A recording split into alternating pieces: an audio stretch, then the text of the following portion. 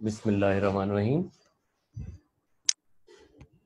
जैसा कि आपको मालूम है कि हम चैप्टर नंबर थ्री का आगाज़ कर चुके हैं और चैप्टर नंबर थ्री इसके मतलब था वेदरिंग और मास वेस्टिंग से मतलब और पिछली क्लास में हमने वेदरिंग का इंट्रोडक्शन पढ़ा और वेदरिंग क्या है? मैंने आपको बताया, weathering basically is one of the important type of denudation denudation मैंने आपको बताया डेनोडेशन क्या है? रॉक्स का एक्सपोज होना और फिर उसकी हाइट का कम होना। डेनोडेशन में जो प्रोसेस इन्वॉल्व हैं टाइप्स हैं, उनको हमने कहा वेदरिंग मास वेस्टिंग और इरोजन और ये रॉक्स वैसे आप पिछली क्लास में बताया गया, ये रॉक्स टूटती है रॉक्स वैसे अर्थक्विक्स की वजह से भी वॉल्केनिक इरेप्शन की वजह से भी वहाँ लैंड फॉर्म में चेंजेस आती हैं। तो और इन रॉक्स में जो चेंजेस हैं, जो लैंडफॉर्म की जो फॉर्मेशन है अर्थक्विक और वॉल्केनिक की वजह से, उसका जो ब्रेकिंग अप का जो प्रोसेस है हाइट लैंडफॉर्म्स के जो लैंड जो important land types of landform है माउंटेन्स प्लेटो और प्लेन्स इसकी हाइट का कम होना that is called denudation denudation की फ़र्स्ट टाइप जो कि वेदरिंग थी वेदरिंग हमने बताया weathering is the disintegration, breaking up of rocks into different smaller particles. और तीन टाइप्स हमने पढ़ी फ़िज़िकल वेदरिंग फ़िज़िकल आपको फ़िज़िकल वेदरिंग बताया कि फ़िज़िकल वेदरिंग में भी ज़्यादा रॉक डिसइंटीग्रेट हो रही है, लेकिन without changing the composition of rocks फिर फ़िज़िकल वेदरिंग के हमने डिफरेंट प्रोसेसेस पढ़े, उसमें फ्रॉस्ट एक्शन था फ्रॉस्ट एक्शन फ्रॉस्ट एक्शन में, जो है फ्रॉस्ट एक्शन में रॉक्स क्रैक रॉक की क्रैक्स में जो पानी बारिश की वजह से आता है, वो सर्दियों में जम जाता है और फिर समर में वो मेल्ट होता है, उसकी वजह से रॉक टूटती है।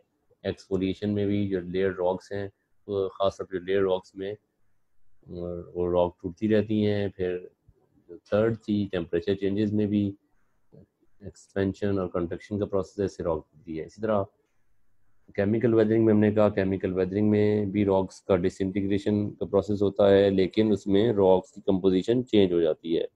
रॉक एक रॉक से दूसरी रॉक में ट्रांसफॉर्मेशन के बाद चेंज हो जाती है। और जो तीन इंपॉर्टेंट प्रोसेस है उसमें ऑक्सीडेशन हाइड्रोलिसिस और कार्बोनेशन तीनों में water plays an important role और केमिकली रिएक्शन होते हैं, उसकी वजह से भी रॉक्स में ब्रेकिंग अप का प्रोसेस होता है। फिर इसी तरह जो थर्ड इंपॉर्टेंट टाइप थी वो थी बायोलॉजिकल वेदरिंग बायोलॉजिकल वेदरिंग में बताया कि रॉक किस वजह से टूटती है? प्लांट्स की रूट्स की वजह से एनिमल मूवमेंट या जो बरोज या होल्स एनिमल बनाते हैं उसकी वजह से भी रॉक टूटती है। तो वेदरिंग का जो ब्रीफ सा रिव्यू था ये है और आज हम स्टार्ट करते हैं मास टेस्टिंग मास टेस्टिंग क्या है ट्रांसफ़र और movement of rocks and soil down slope due to gravity is called mass wasting और मास मूवमेंट रॉक्स जब टूटती हैं हाइट से ज़ाहिर है उन्होंने ग्रेविटी की वजह से नीचे आना है। इस प्रोसेस को हम कह रहे हैं रॉक्स के टूटने के बाद रॉक्स के नीचे आने को on, on the surface of the earth इसको हम कह रहे हैं mass movement mass wasting mass wasting may occur due to earthquakes heavy rains and removal of vegetation. Earthquakes में भी हमने बताया कि अर्थक्वेक्स में भी आपको बताया जो इफ़ेक्ट से इम्पैक्ट से उसमें land sliding is one of the most important impact of earthquakes volcanic eruption का भी वो इम्पोर्टेंट इम्पैक्ट है. तो लैंड स्लाइडिंग क्या है? Land sliding is one of the most famous and important type of mass wasting ठीक है? तो ज़्यादा शरीर किस्म की बारिशें तब भी लैंड स्लाइड होती हैं। लैंड स्लाइड के वर्ड से तो आप बहुत ज़्यादा फेमिलियर हैं। फिर आपका जो दरख्त काटे जाते हैं फॉरेस्टेशन होती है डिफॉरेस्टेशन होती है। दरख्त से भी ज़्यादा हमने आपको बताया बायोलॉजिकल वेदरिंग से भी रॉक टूट रही है लेकिन जब आप दरख्त पूरा का पूरे काट लेंगे उससे भी जो जड़ें हैं रूट्स हैं प्लांट रूट्स उससे भी मज़ीद मास वेस्टिंग के इंक्रीज होने के चांसेस हैं। तो there are three there are five types of mass wasting three नहीं है सॉरी गलती से टाइप हो गया है। तो there are five types of mass wasting rockfall, landslide, avalanches, mud flow and creep. तो इनको वन बाय वन डिस्कस करते हैं कि इनमें क्या डिफरेंस है, लेकिन आपको वैसे बता दूँ, इसमें जो मास वेस्टिंग की जो टाइप्स में जो फाइव टाइप्स हैं, ये थ्री नहीं है बेटा बेटा याद रखिएगा, ये फाइव टाइप्स हैं। इन टाइप्स में जो डिफरेंस है बेसिकली वो स्पीड ऑफ़ दी रॉक्स का है, जो मूवमेंट रॉक्स की मूवमेंट की स्पीड है downward speed of disintegrated rock particles उसकी वजह से ये क्लासीफाई किए गए हैं टाइप्स तो फ़र्स्ट टाइप है रॉक फॉल रॉक फॉल क्या है a fall happens when rock fall from steep cliff through the air and land at the bottom of a slope. ठीक है? अगर आप स्पेशली जो स्टूडेंट्स नर्दर्न एरियाज़ विज़िट किया है या नर्दर्न एरिया से बिलोंग करते हैं वो इजीली अंडरस्टैंड कर सकते हैं। इस तरह के प्रोसेस को बहुत सारे सिचुएशन से वो फेमिलियर भी होंगे, बहुत सारे इंसिडेंट स्पेशली रेनी सीज़न में ऐसे होते हैं, पूरा का पूरा जब स्लोप जो है वो स्टीप होगी और ऊपर से माउंटेन्स का एक जो पीस है, एक बड़ा का रॉक बड़ा सा रॉक का जो टुकड़ा है, वो टूट के बाद, टूटने के बाद ऐसे जिस तरह आपको डायग्राम में नज़र आ रहा है। पूरी रॉक या पूरा जो एरिया है पैसेज है, वो ब्लॉक कर देता है। और नीचे आके ज़रा बहुत स्टीप जो क्लिफ है उससे ही रॉक का पीस टूटता है और नीचे आके कर जाता है। फिर land sliding land slide is again मैंने जैसे आपको बताया is one of the most famous type of mass wasting land sliding is a rapid movement of rock combined with soil along steep slippery slopes ठीक है, यहाँ slope slippery हैं again steep slopes हैं। तो उस वजह से भी रॉक जो है रॉक के जो पीसीज हैं smaller larger pieces of rocks वो बहुत तेज़ी से स्लिप करते हुए अगेन जो कि रीज़न ग्रेविटी है, उससे बहुत तेज़ी से बहुत सारे जो रॉक्स के पीसीज हैं, वो जो सारी के सारी चीज़ें जो रस्ते में आती हैं, उसको डिस्ट्रॉय करते हुए नीचे आते हैं। और लैंड स्लाइडिंग बहुत कॉमन है। पाकिस्तान में भी क्योंकि पाकिस्तान में बहुत सारे माउंटेनियस एरियाज़ भी हैं। और अनफॉर्चुनेटली बहुत सारे माउंटेनियस एरियाज़ पे बहुत बहुत ही ज़्यादा स्पेशली स्टीव स्लो पे बहुत ज़्यादा कंस्ट्रक्शन है जिसकी वजह से काफ़ी नुकसान होता है। फिर थर्ड है avalanches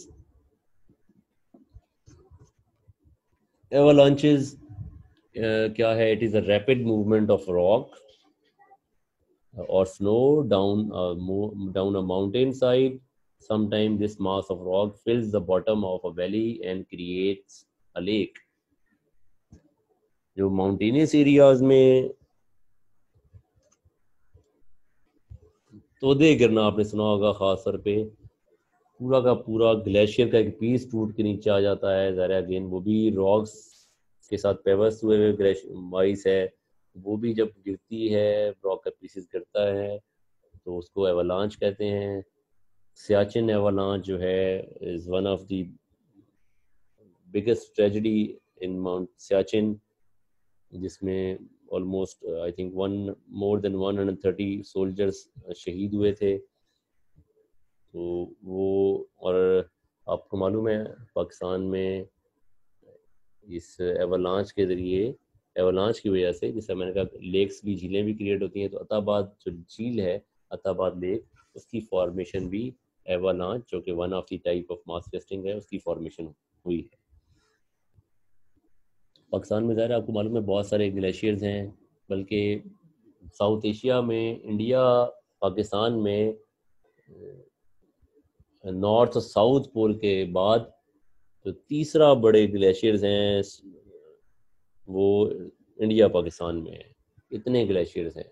पूरी दुनिया में अगर नॉर्थ साउथ पोल को निकाल दें एंटार्टिक और आर्टिक रीजन को निकाल दें तो पाकिस्तान इंडिया में सबसे ज़्यादा दुनिया में ग्लेशियर हैं। हिमालयन कराकोरम रेंज इसमें बहुत ही ज़्यादा आपको ग्लेशियर मिलते हैं। फिर चौथी है मड फ्लोज मड फ्लो जिसका नेम से ही आपको ज़ाहिर हो रहा है कि मड फ्लो क्या है मड कीचड़ को। तो flows are a mixture of water, rock and sediments, and flows that move very quickly called mud flows ठीक है, बहुत, अगेन ये एक डायग्राम शो हो रही है। जो सॉफ्टवेयर रॉक्स हैं, जो सॉइल है, उसमें जब वाटर मिक्स होता है, अगेन रेनफॉल का लैंड साइड में और मड फ्लो में बहुत ज़्यादा इम्पोर्टेंट रोल है ख़ास तौर पे। ऑल दो के एवलांचेज में फ्रॉस्ट सेक्शन के भी इम्पोर्टेंट रोल हैं।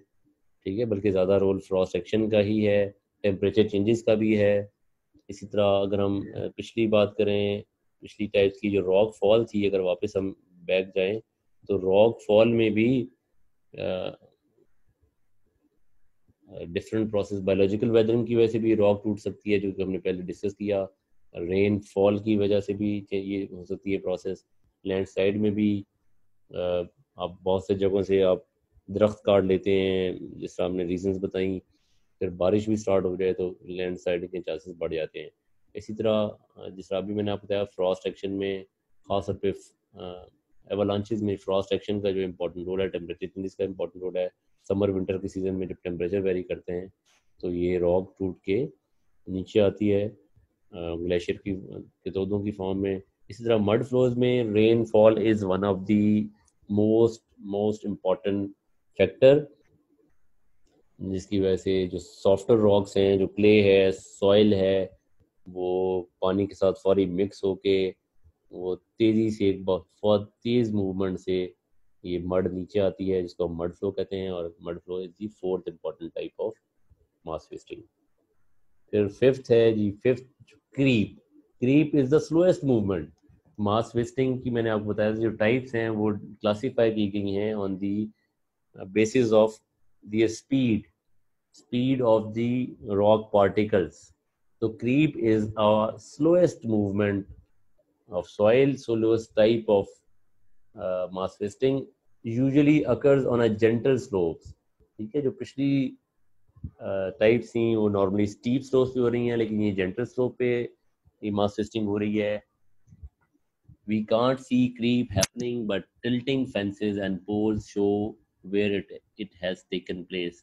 ठीक है? नॉर्मली हमें क्रीप मास वेस्टिंग की जो टाइप है, वो हमें फील नहीं होती कि ये क्रीप मूवमेंट रिंगना कहते रिंगना जैसा सांप स्नेक क्रीप करता है, इसी तरह ये स्मॉल पार्टिकल्स हैं, वो क्रीप करते हुए नीचे आते हैं, लेकिन ये हमें नज़र आमतौर पे नहीं आते, लेकिन हमें महसूस कब होते हैं कि जो हिली एरियाज़ हैं, वहाँ जो पोल्स लगे होते हैं, या जो फेंसेस होती हैं, वो थोड़े थोड़े टिल्ट हो जाते हैं, जिससे ये पता चलता है कि यहाँ मास वेस्टिंग हुई है, लेकिन मास वेस्टिंग की सबसे स्लो टाइप अगर आप पोल देखें तो ये टिल्ट हो गए हैं, टेढ़े हो गए हैं इंक्लाइंड हो गए हैं।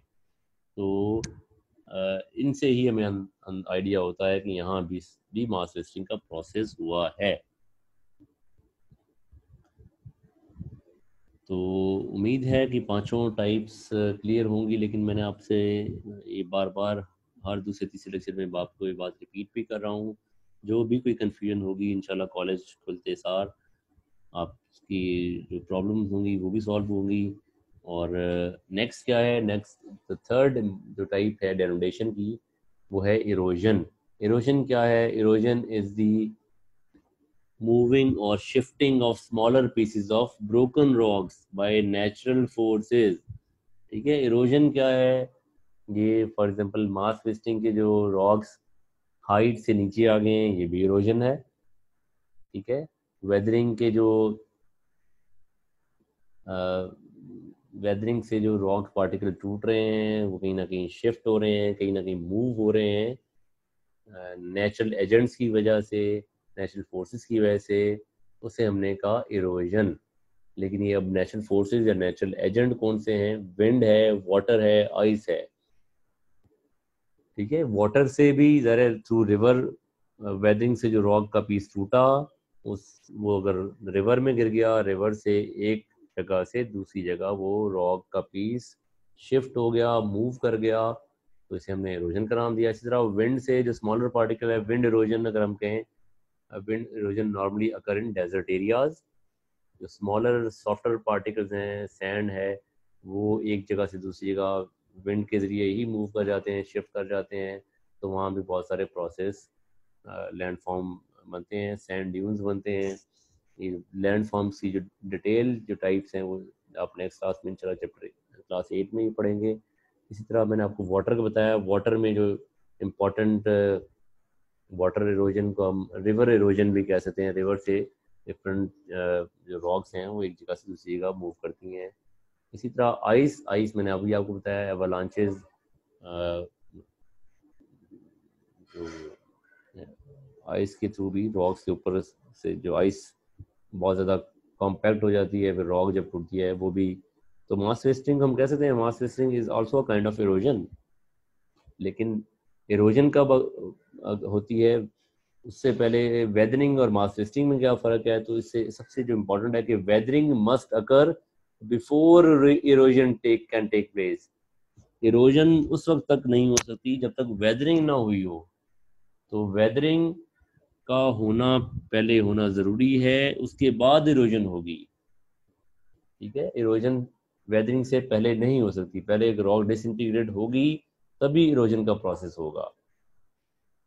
जिस तरह अभी ऊपर डिस्कस हुआ there are three main forces that cause erosion are water wind and glacier और बुक में ये भी एक टॉपिक बहुत स्मॉल सा टॉपिक है कि what is the difference between weathering and erosion तो एक तो अगर आप कॉमन सिमिलरिटीज देखें तो both process weathering and erosion are the types of denudation तो uh, मैं आपको पहले पिछले क्लास मैंने आपको बताया भी पिछले लेक्चर में कि डेनोडेशन का वर्ड बुक में कहीं यूज़ हुआ है आई थिंक मैंने कहा था आई थिंक यूज़ हुआ है तो वेदरिंग और इरोजन के डिफरेंस में डेनोडेशन का वर्ड मेंशन किया गया ऑल किसी स्टार्ट में होना चाहिए था क्योंकि जो तीनों टाइप्स हैं जो तीनों हेडिंग्स हैं weathering mass wasting and erosion these are all process of denudation तो बहरहाल uh, अगर हम वेदरिंग और इरोजन के डिफरेंस की बात करें तो दोनों की दोनों सब प्रोसेस हैं सब टाइप्स हैं डेनोडेशन की। और वेदरिंग क्या है? वेदरिंग में आपको बताया गया था कि वेदरिंग में break down of breaking up of rocks होती है रॉक्स ब्रेक्स होती है। किस वजह से जो वेदर के सामने रॉक्स एक्सपोज होती हैं रॉक डिसइंटीग्रेशन आपको डिटेल से बताई गई थी फ़िज़िकल केमिकल और बायोलॉजिकल मींस के थ्रू रॉक्स डिसइंटीग्रेट हो गई टूट गई और फिर यही जो इरोजन है, ये टूटी हुई रॉक्स हैं डिसइंटीग्रेटेड रॉक जो पार्टिकल्स हैं इनकी शिफ्टिंग है, इसकी मूवमेंट है from one place to another due to water wind and glacier तो ये स्मॉल सा डिफरेंस मेंशन किया गया है बुक में और है भी स्मॉल से वेरिएशन तो तीनों अगर आप में देखें तो वेदरिंग क्या है? वेदरिंग रॉक का डिसइंटीग्रेशन रॉक का टूटना मास मूवमेंट क्या है? Mass movement due to gravity वो रॉक के जो पार्टिकल्स हैं, वो नीचे की तरफ़ आना, उसको हम कहते हैं मास मूवमेंट। और इस तरह, चूँकि मास मूव, मास वेस्टिंग में भी रॉक हाइट से नीचे की तरफ़ आ रही है, यानी कि एक जगह से दूसरी जगह शिफ्ट हो रही है। तो हम ये भी कैसे सकते हैं कि mass movement is also a type of erosion और इरोजन तो आपको अभी मैंने बताया कि इरोजन में भी जो स्मॉलर पार्टिकल्स हैं रॉक्स के स्मॉल पार्टिकल्स हैं ब्रोकन रॉक्स हैं वो विंड वाटर और ग्लेशियर के ज़रिए एक जगह से दूसरी जगह शिफ्ट करती हैं मूव करती हैं। उसको हमने इरोजन का नाम दिया। तो नेक्स्ट क्लास में आ, हम जिस तरह हर पहले दो चैप्टर के अख्ताम पे भी हमने इम्पैक्ट्स पढ़े थे ह्यूमन बींग्स पे ह्यूमन एक्टिविटीज़ पे तो इस नेक्स्ट क्लास में भी हम डिस्कस करेंगे इन एरोजन के मास वेस्टिंग के, और वेदरिंग के जो इम्पैक्ट्स हैं ह्यूमन एक्टिविटीज़ पे तो नेक्स्ट क्लास में हम पढ़ेंगे। तो अपना और अपने घर वालों का ख़ास तौर पे ख्याल रखें। बिल्कुल लापरवाही अभी भी ना करें और अब थोड़ा थोड़ा पढ़ाई की तरफ़ थोड़ी सी ज़्यादा तवज्जो दें ताकि स्कूल ओपनिंग होने के बाद आपको बहुत ज़्यादा मसाइल का सामना ना करना पड़े, पढ़ाई में जल्दी से दिल लग जाए। ओके बेटा, अल्लाह हाफिज, ख्याल रखिएगा। Take care